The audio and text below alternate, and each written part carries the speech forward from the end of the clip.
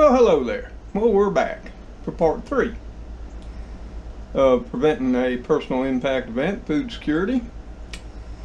And what I said was we'd come on into my little humble kitchen and we'd take a look at my choices, your choices, in a visual fashion and go over some additional facts.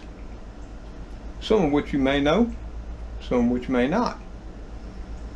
I've read all the comments. In fact, I've read them several times just to make sure. And I will be pointing some of those out as we go through these items. So, with that said, let's get on with it. So something that keeps coming up, and I guess I uh, didn't think about a whole lot. And uh, people keep bringing up one thing. And we got some running right here in the sink. And that's pure, clean water. Now, I've had my city water tested, and for the most part, got pretty darn good water here in my little small town. We take pride in it, since we all drink it. But as you can see, I also got a pure filter there for what I drink and what I use for cooking, just in case. But you got to have it. Because like many of you have said, and of course, I also have bottled water. But the reason I haven't really said anything about that up to this point was this was about food. Now, many of you viewers comment the fact that you can have all this food, dried food. And without the water, you got nothing. And that's absolutely true. And you should have enough water on hand, pure, potable water, clean and safe to drink, at least, on average, and this is an average, one gallon per person per day. And if you're uh, covering natural disasters, I would think the bare minimum would be for at least a week, if not two weeks. Other people's take that way out to an extreme. I personally have enough water here, bottled water, to go two weeks. I also have another source water that will carry me on for another six weeks. But the reason I didn't get into the water issue because I think water deserves a whole entire video of just what you need to do, how you need to prepare, and how you can go about it. Because I don't think a lot of people actually pay a lot of mind to it. I just wanted to throw that in there at the beginning of this video. Before we dive on in to these choices, what they look like, and what's available to us. So with that said, let's get on with it. Okay, y'all. What I've done now is I've laid out a lot of uh, my choices, your choices, uh, on my countertop here. Now granted, I want you to understand this. This is no way representative of what I have stored up. This is just what I could get to easily out of my kitchen pantry and some stores that were easy to get to. There's four different places just in this house alone where I store food. And then I have a second, third location. And uh, with that said, I also hope you have multiple locations as well. Because you never know when you're going to have to give up the home base and fall back, if you know what I mean. But like we've uh, been talking about, dried beans. And you can see a bunch of them here. You can see dried beans. You can see canned beans. You can see number 10 cans of dried beans. And they also come in five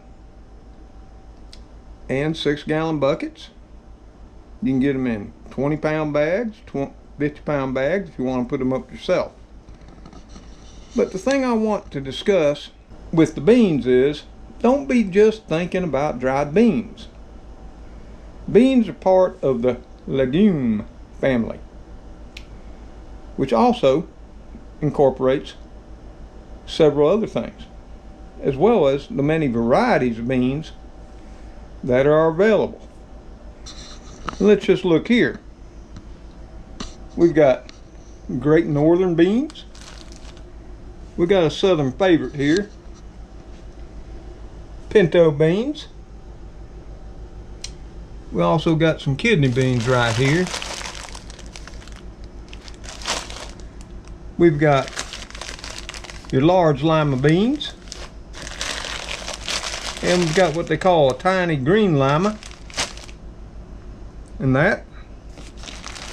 But something else, we got lentils. Lentils are very fast cooking. But you also see right here, right there, I got some black-eyed peas.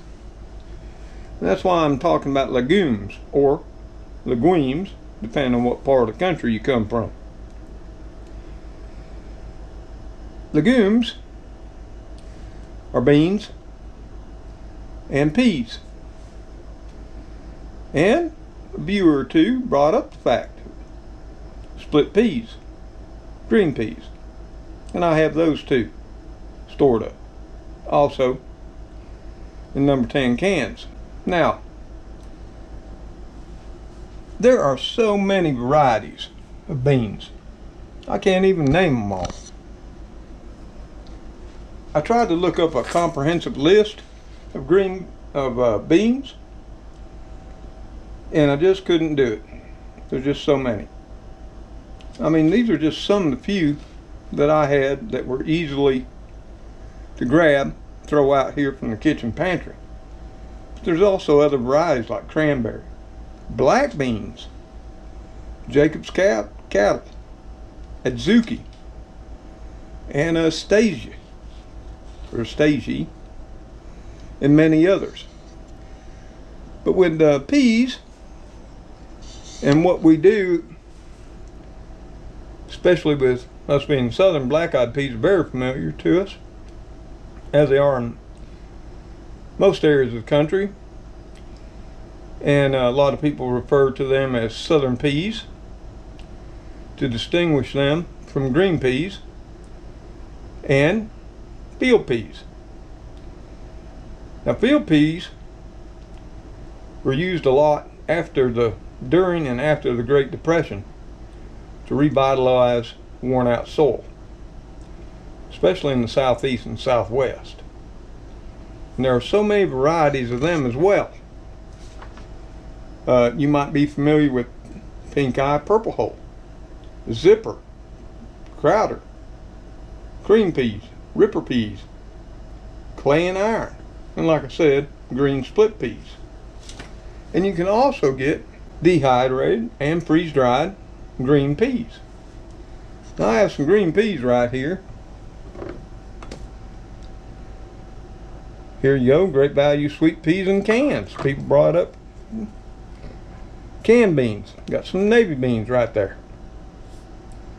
As well as some red beans.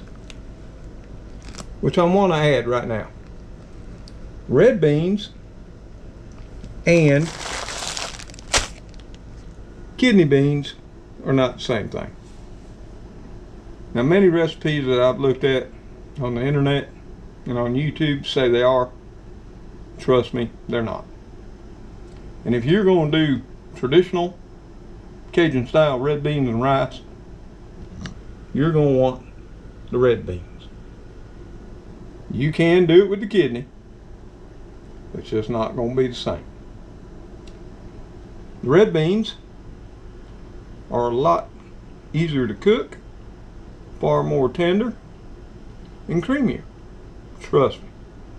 Next time you're whipping up some uh, bean, red beans and rice, look for the red beans and go with them. But another thing I wanted to bring up that a lot of people don't understand is peanuts. Peanuts are part of the legume family as well. They're actually not a nut. They're a bean in a husk that grows just under the surface of the ground. And here in the south, we do something called boiled peanuts. And back in the day, probably, oh, 10 years or more back, you used to see roadside stands along state highways and rural highways. And they would always have a sign out by the highway, boiled peanuts. Now, for many of us, we really truly enjoy them. For others, they just can't get past how gross they look boiled in the husk. And they do have canned boiled peanuts in a lot of grocery stores. And I would encourage you to try them sometimes. I've actually made chili with them and it just gives it a whole different texture and flavor. And you'd be surprised if you'll ever do it. But another thing I wanted to bring up that's so important about beans. You'll see right here. Got some uh, dark brown beans. Got some nice white beans. And right here I've got some speckled beans. You can see some dried pods. These are beans I grow right here, deep South Bama. And something most people don't realize is you can take and let your green beans, every variety, go ahead and let them mature on the vines in the pods.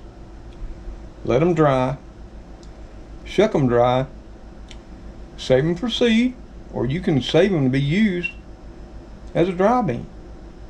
In chilies, soups, stews, whatever you want.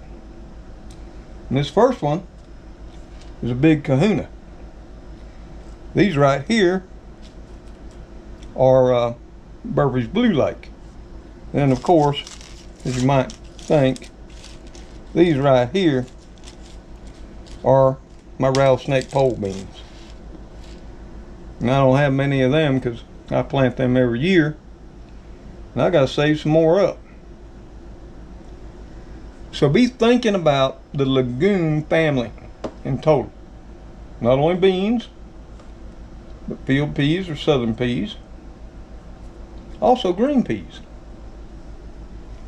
Now something I'd like to say right now, we had a couple of viewers bring up the fact that they take canned beans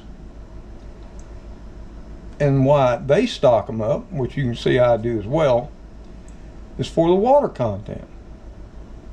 And that is a valid idea because there is water in with them and in certain situations that water could become crucial to your survival.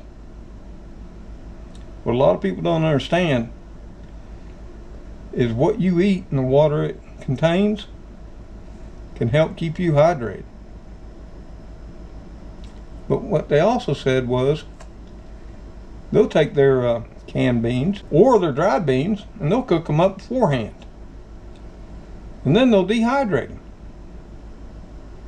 Well, if you cook up dried or can't or dehydrate canned beans, their idea, and I think they're right, when it comes time to rehydrate them, they'll take less water and they'll cook up much faster than if you were just to start from the dried beans in the beginning. Excellent idea. In fact, somebody, and I tried to look through the comments, I probably missed it, but in fact they do the same thing with baked beans. So keep all that in mind, folks. And here, like I say, I've got them in number 10 cans. And that's how I used to buy them. And uh, Provident Pantry no longer exists. I think that's called uh, Emergency Essentials now. And back when I bought those cans, they were $6.99 a can for five pounds. Now, why'd I buy something in number 10 can? Could have done it myself, and you're absolutely right.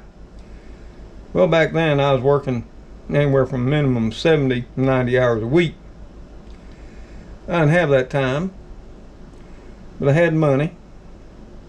I preferred the number 10 cans because they were easier to store than the big buckets which like I said I do have. And I have a lot of different varieties in the number 10 cans. Pintos, black beans, split peas.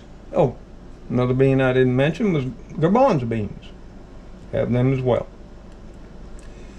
And lastly, what I'd like to bring up about the bean family is each bean variety has varying degrees of protein and differing vitamins and minerals. And at the end of this video, I'll be sharing with you a site where you can put in such things like dried beans or even packaged food and it will show you the nutritional breakdown of it. I use it when I'm thinking about looking at something to stock up on. Really comes in handy. Now, as you know, we've talked a lot about rice too. Now, something I want to say right now when we're looking at the rice, and we've already looked at the beans, is these, along with others, is what I call foundational foods. These foods are the foundation that you can use to create so many other dishes and vary what you're going to be eating. It just isn't when there's an emergency or an apocalypse or a natural disaster. It's if you're eating them on daily diet to rotate your stocks. But the one thing about rice is, and you'll see this is enriched long grain white rice. And four people just jump all over me about, well, white rice, ain't got no nutrients, they're all stripped. Well, yes, they are. During the milling and polishing process, the bran is stripped away from the rice kernels. And there, the healthy oils, omega-3 oils, and a lot of the vitamins, minerals are taken away. Hence why they're called enriched. After the milling and polishing process, many governments actually have laws that white rice has to be enriched. And the USA is one of those. Maybe your country is too. But the reason for the long grain, there's short grain, there's medium grain, and there's long grain. But from everything I've read, long grain, white rice, if you're going to store it, is what you want to be storing. So that's what I store. I take it as the gospel. Now, each type of rice has a different purpose. Some are stickier, some are fluffier. Not going to get all into that. You can look it up yourself. Now, for those of you who say, well, white rice isn't healthy. Peace. I understand. But brown rice has a very short shelf life. If you don't do anything to it, it's only about six months to eight months at best and that's best stored at 40 degrees. Think about that. And why? Because it does have a high oil content. And at room temperature, that oil over time can go rancid.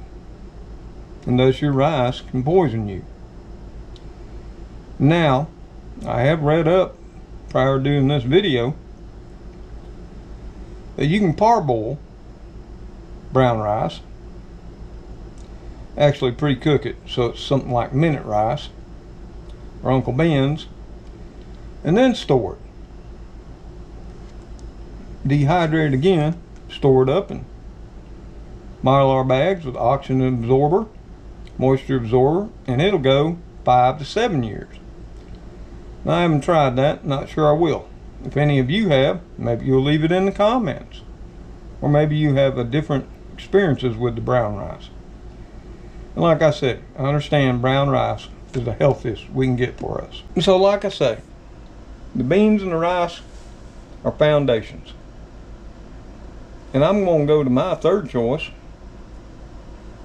which was the corn, dried corn. And that's right here. And this is actually a dent corn. And we're going to get in as close as we can. Maybe you can see it. This is a yellow dent corn. And the reason it's called dent is as you can see the top of each kernel has a small dent in the top. And there's two, and this is a field corn. There's two types. There's dent and flint. And before anybody says it, well, there's Indian, well, Indian corn is a field corn. So what is the dent corn good for? Well, primarily in America, it's used for animal feed. What you don't know, or maybe didn't realize, is dent corn is also, to some minor extent, used for corn syrups, for stuff like corn flakes, and those yummy corn tortilla chips that you buy in the bags. You know, the yellow ones. Also, for the white ones, that's a white dent corn. And it can be ground for cornmeal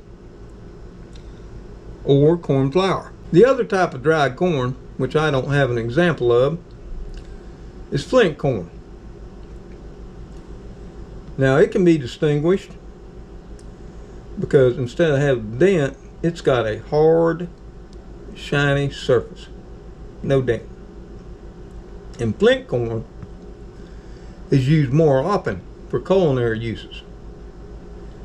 Mainly for grits polenta, which by the way, polenta is just basically a coarse ground meal and uh, often referred to as Italian grits.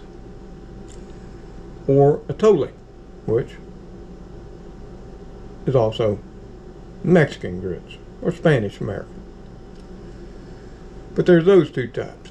And Indian corn is either dent or flint.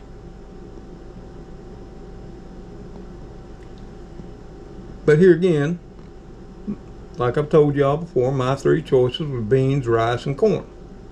And I'm not going to go into all the reasons that we've already talked about. But then another that I store is here, and just got a bag I got out of the counter because it's close on hand. It's popcorn. And popcorn is more of a flint type corn than a dent corn. It's got that hard outer shell, shiny. And here again, you can grind it for meal or flour. I don't know about grits, didn't find nothing about that. And we all love popcorn.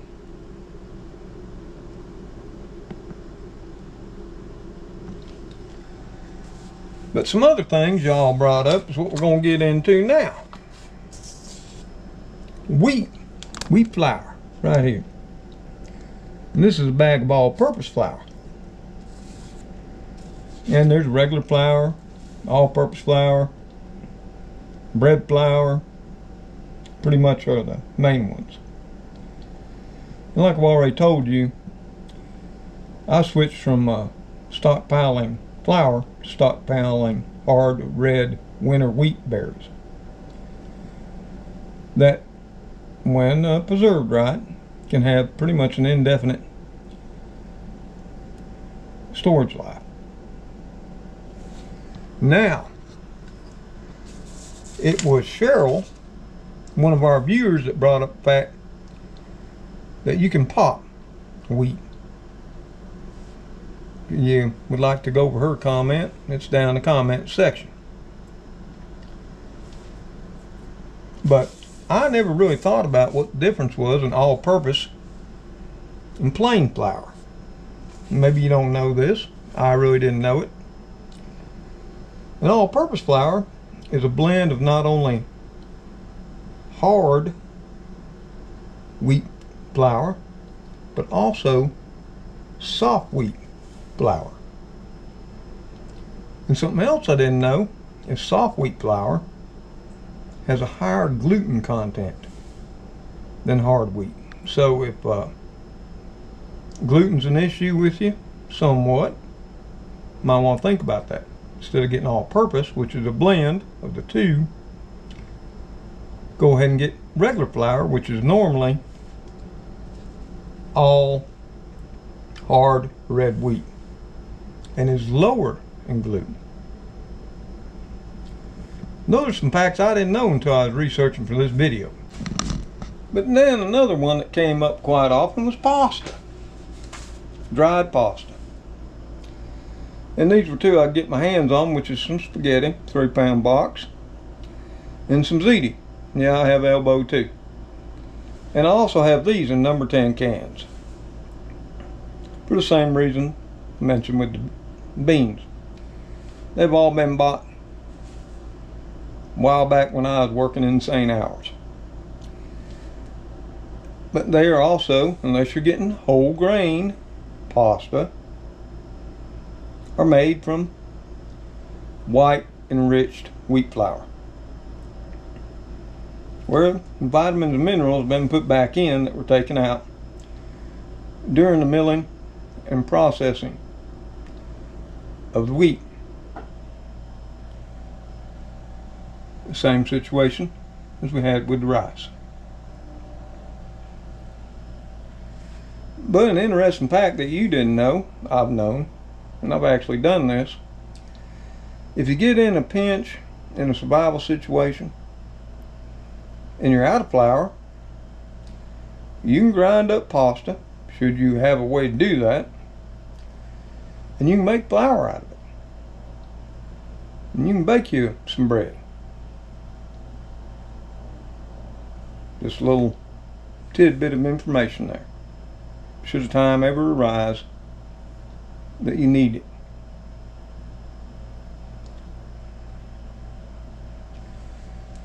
But then people brought up dehydrated potatoes.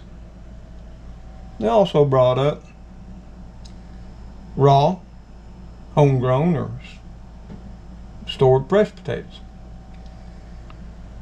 Now I also have instant potatoes, plain, they're potato flakes, stored as well. This is just a box had in the pantry where uh,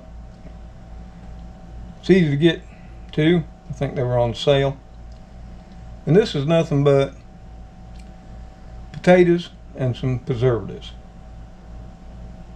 Nothing else. Now you got to be careful. If you're getting flavored potatoes, you know, garlic, olive oil, whatever. Those are not going to store anywhere near the same time that plain instant potatoes are going to store. If you're going to store instant potatoes for long term, they're going to be just, need to be just plain. Now also some of y'all brought up the fact that you cook up your potatoes, whether they be sliced diced or mashed and dehydrate them yourself. And that way they're just potatoes. And then you put those up in either canning jars or mylar bags. Same thing with adding an oxygen absorber and moisture absorber. That's excellent. Excellent idea. It does take a lot of time and effort though and I just don't have that amount of time. Or I didn't when I bought my stockpile of instant potato flakes. But you can do it if you're interested. There are videos actually on YouTube showing you just how to go about it.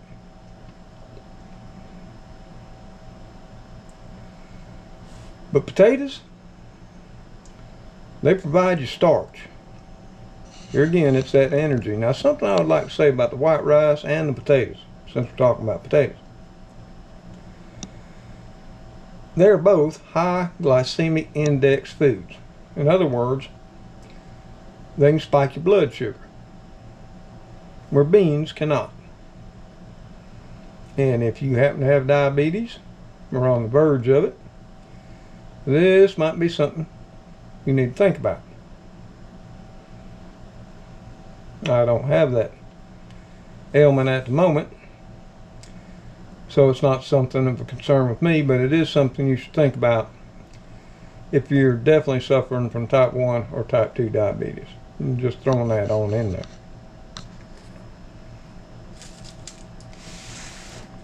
But then we had people talk about oatmeal. And we're going to talk about that real quick. And this is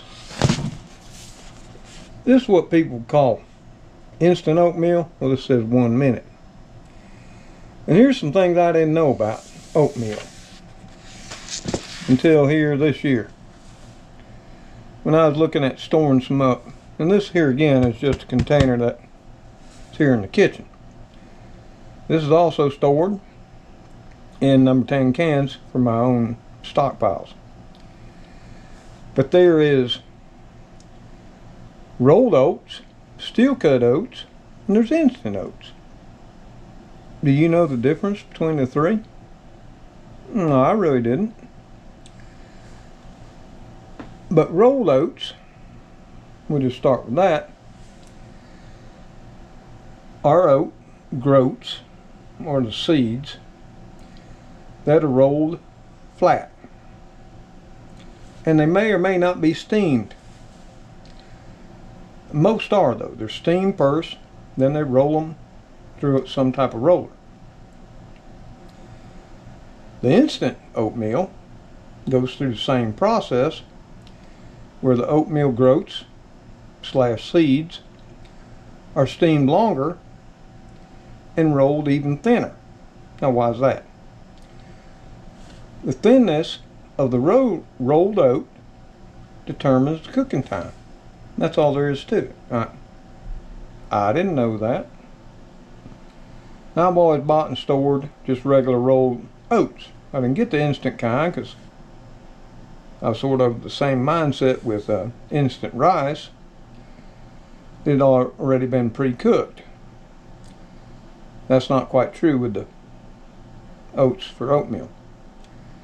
Yep, they've been steamed, but not cooked to the point that they do with parboiled rice. Now steel cut oats, which is a whole different type of uh, oats, I mean same oats, different process, and it creates a different texture. Because what you're doing is you're actually chopping up the oat groats, which are the seeds, and it makes sort of like a coarse meal. And a lot of people refer to this as Irish oatmeal or Scottish oatmeal. It has a whole different texture from uh, oatmeal that's prepared with rolled oats, whether it be standard rolled oats, which will have a little bit chewier texture than instant oatmeal will. Or so I've read. I haven't actually sat down and ate all three. But the one thing, whether you're getting the regular rolled oats or the instant or the steel cut is they're all whole grains. Everything's in there. Now in my mind, the rolled oats to me would have far more of the whole grain in them than the steel cut. Just because I'm thinking during the cutting process and grinding process there'd be a dust. And then a lot of that is lost during the process. That just may be my way of thinking. But then y'all brought up some things that are interesting where you can go through this. And like I say, the beans, the rice, the corn, even the potatoes, the pasta, and the oatmeal would all be considered foundation foods.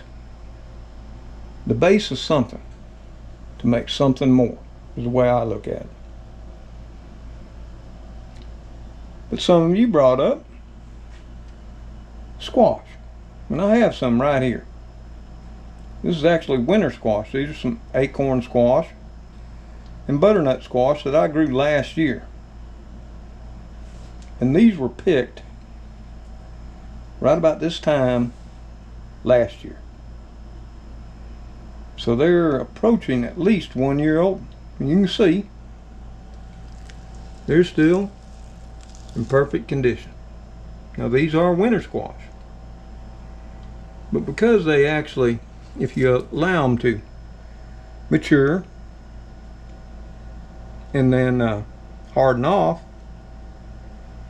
they get this really hard outer shell. And it's like their own bulletproof protection. Now with that said, I want you to notice the long stems on all these. It's important that you allow that stem to dry on the vine till it's nice and brown. It's dry.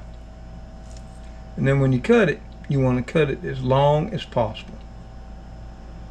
Because it's that length right there that keeps air, microbes, and bacteria out of the squash. And like I say, these are approaching one year old. And there's not a thing wrong with them. I've been eating my squash. I ate it all last winter, this spring, some this summer, and probably will come this Sunday. Cut them open. Not absolutely not nothing wrong with them. But then some other viewers, they brought up onions. Fresh, dehydrated. Of course, you can get them freeze-dried as well. And I gotta admit, that's an excellent thing to have as well. Having onions on hand is going to make all the rest of this much more palatable and tasty. Others of you have brought up several times spices. Now I'm going to open up a cabinet here. This is my spice cabinet here in my kitchen. I'm not sure the lighting's good, but you can see. I've got quite a few of them up there. And that's not the sum total of them either. I also have spices that I bought, both uh, dehydrated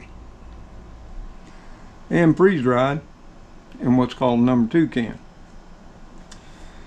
That's basically can about this size right here. And I have uh, that put up as well. And it's with these spices as well as, you know, a couple of basics. And that's of course black pepper. And then up there we got some salt. That will make your foundation foods many different tastes and add so much to your diet. Now granted, if you're going to store black pepper for long term, you need to be storing the whole peppercorns. Now you can see here I got a couple of big boxes and this small box. But I also have whole black peppercorns stored in containers with oxygen absorbers and moisture absorbers uh, put away as well. I just don't mess with them. That's something y'all didn't come up with and just as a last forever thing.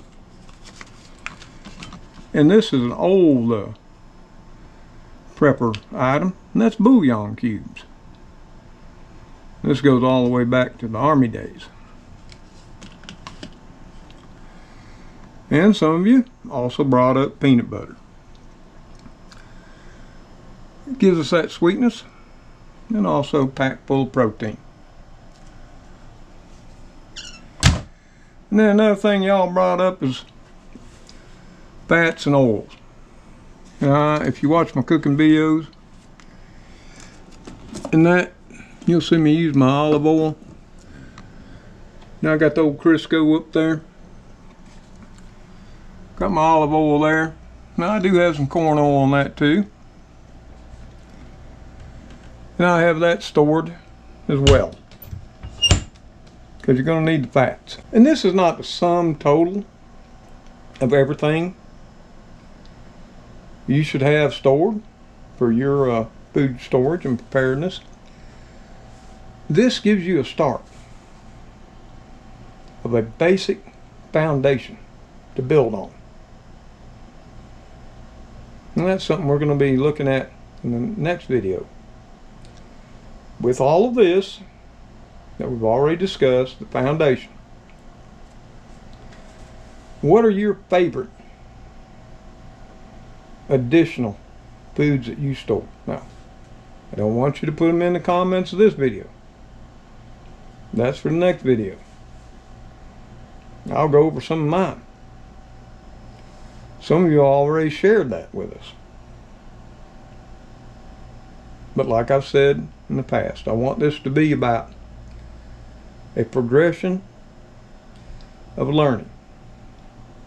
For those of us who don't know. And like always, I want to thank each and every one of you that has participated in the comment section, joined in in the conversations below the video, because you've made it, as my grandson say, all the more better. And that's absolute truth. So be thinking about your favorite items and what you do to add to the basics. And we'll bring that up in the next video. Now y'all, I hope you enjoyed that. I hope you learned something along the way. Some additional information, maybe not, maybe you knew it all. I'd like to give one shout out here to Martha Adams.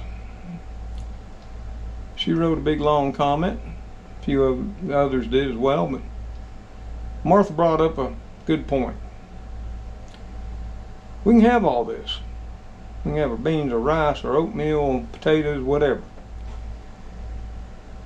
And something like a health issue can hit you one day where a lot of what you have put back you can no longer eat or tolerate. And like she said, you got to be flexible. If you're going to do it, you're going to have to have a broad range of things.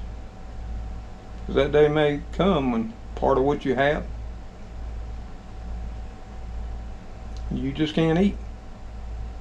Whether it's a health issue, it could be bug infested, mold, who knows. And I just wanted to give Martha a shout out. She had a lengthy comment below the video. I hope many of y'all go back in the previous video and read what she had to say. It really moved me and made me think more. Because I'm not as young as I used to be. I have health issues of my own. Though I am still tolerant of most foods. So y'all, I wanted to share a couple of sites. It's only going to be two that I use quite often. Uh, one is to check out the nutritional value of different foods. You can even check out certain packaged foods. Now it doesn't have all of them, but it does have quite a few. And the other is a site that I use to buy some of my uh, food storage at the moment. Why? Because right now it's got the least expensive prices.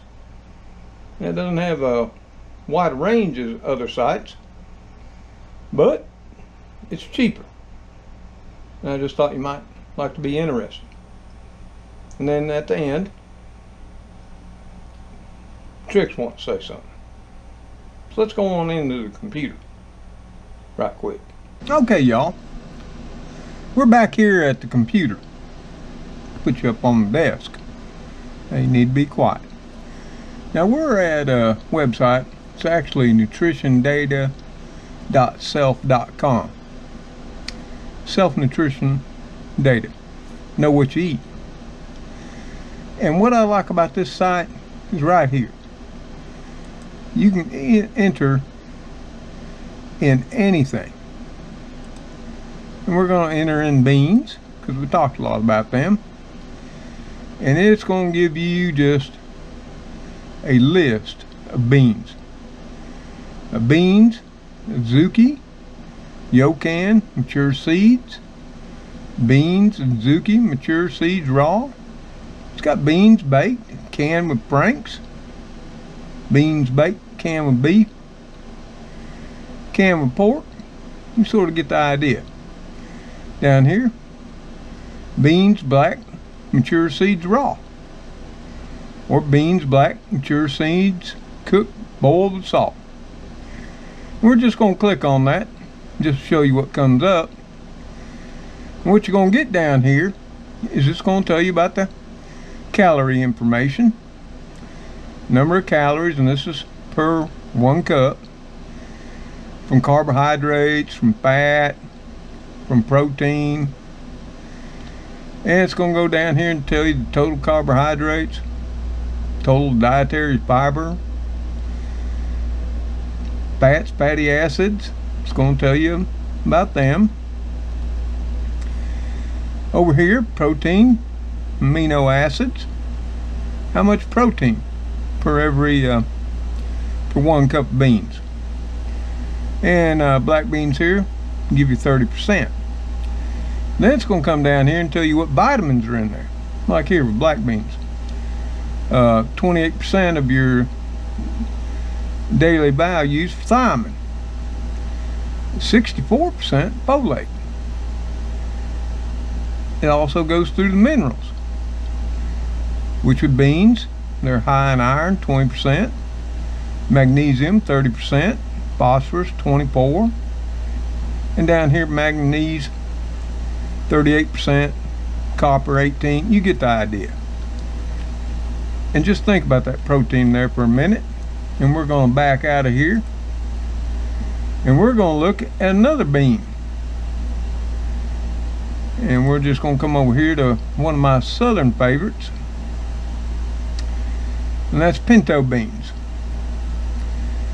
Okay. And here's beans, pinto, immature seeds, frozen, cooked, boiled, drained without salt. Or, for comparison, equal, beans, pinto, immature seeds, frozen, cooked, boiled, drained with salt. So that'll be comparable to the black beans. And you can come down here, and once again you see your calories.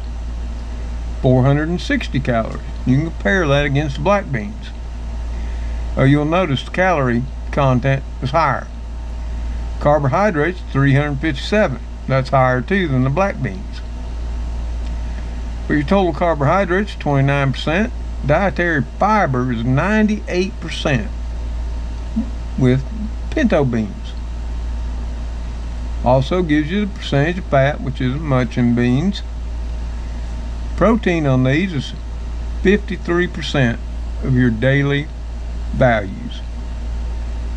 And then it also tells you the amount of vitamins and minerals. So, why is this site important? Well, you can take what you have stocked up now, or what's in your pantry, and you can take a look at it for the protein levels, carbohydrate levels, fat levels, vitamins and minerals, and see what they are. And what you want to have is you special like with beans, unless there's a certain flavor you like, you'd want to have the highest protein, highest calories. You want a nutrient dense foods, especially if you're storing for emergency situation, survival, such as that nature. You want nutrient dense foods.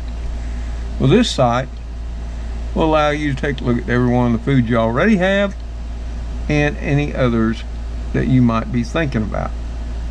And I'm going to leave a link to this site in the description below the video. I use this all the time when I'm just thinking about, well, what about this? You know, what's in kale? What's in cabbage? What's in bananas? You can put it in here and you can find out all on one website.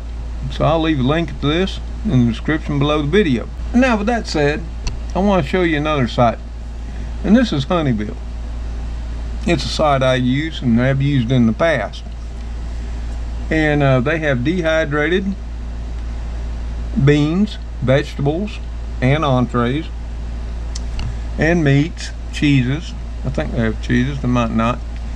Anyway, it doesn't isn't such a broad range of other sites like Emergency Essentials, Mountain House, and what have you. But what I found to be mostly true with this particular site and their brands is they'll be the least expensive most of the time. And I bought a lot off this site. Uh, not everything I have in number 10 cans or buckets is from here. But I would say uh, about 60% is. But I want to share this site with you. And here again, I'll be leaving a link to this site in the video description below the video. But you can go over here and shop by uh, category. And uh, you can hit bakery. And they've got bacon mixes, corn and tortilla products, dairy, flour, sugars and sweeteners. Then we come down grains and seeds. They have barley, buckwheat, corn, millet, mixed grains and more, oats, rice, rye, seed products, and wheat. And let's just click on wheat real fast, just give you some idea. They've got cracked wheat. Got cracked wheat in 50 pounds. Crushed red wheat. And they got the hard red wheat, which is what I store up. So we'll click on that real quick, just give you sort of an idea. And they got the extra large bag, 50 pounds, for $45.99 a bag. And they have buckets, large bucket. That's 40 pounds. That's right here.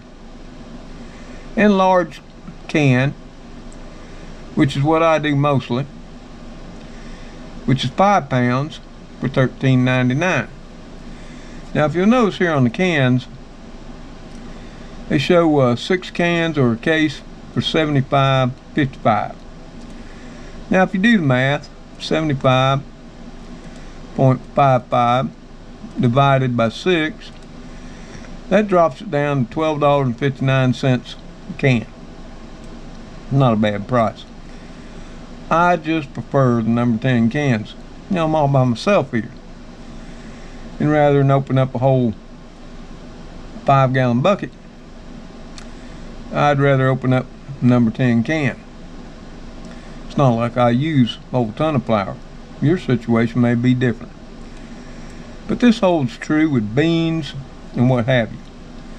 I just wanted to share this site with you.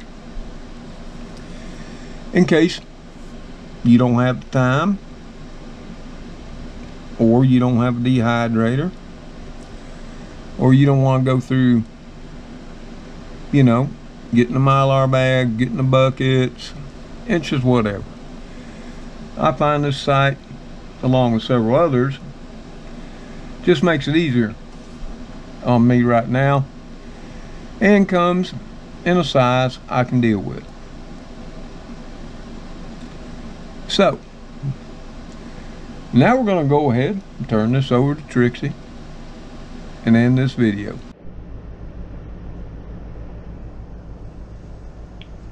Trix, what you doing there, girl? What you want? Huh? What you want, Trix, Trix, Trix, Trix, Trix? How you doing, old girl? Hmm? You talk to Papa? What you want? Hmm? Hmm? Trix, what you want? Food? You sure?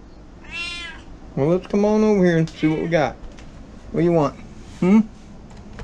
What you want? What you want?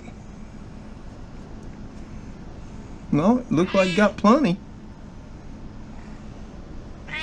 You want food? Now. Oh, that food? Well, that food's all gone. How about this food? You want this food? Trick. Want this food? Trick. Want these?